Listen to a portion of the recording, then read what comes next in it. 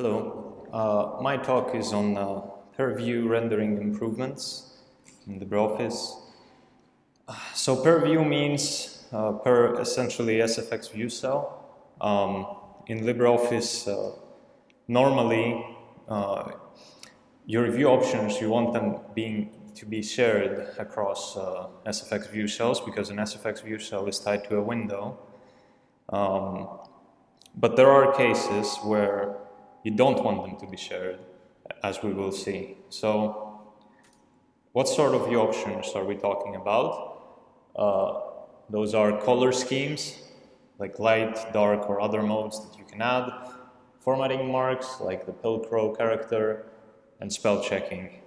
Um, the reason why you may not want these view options to be shared is, uh, say, for example, um, you are uh, using online and you don't want uh, to enable dark mode in one client and have it enabled in every client.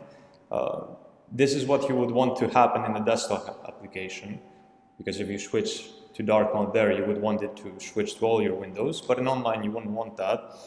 Um, the view options were handled as a global state for that reason uh, because there was no need for them to be separate. Uh, and then changes to one view would apply to every view, obviously. Uh, so we wanted to change that uh, for online specifically, but also for any other use case that would want them to be separate. Um, so obviously it's a, uh, you can enable or disable that mode. Yeah. In the Office app, it's, it's like before, we didn't change that. Um, so the work done is uh, the staticization of the global options classes. Um, currently, it's tied to whether tiled rendering is enabled or not, but that could be changed in the future as well to tie it to some uh, other state. Um, yeah, sharing or not of the options between the views based on the rendering mode. Um, there was no options class in the uh, in the SD uh, compartment, so the creation of that, uh, which all means that if you have different views, you can have different view options now in online.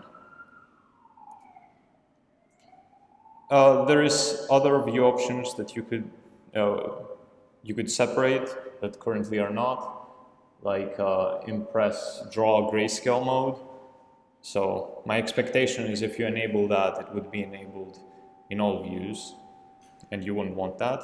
Uh, same for the calc show formula and value highlighting modes. So uh, we should probably separate those in the future. And yeah, that's all. Thank you.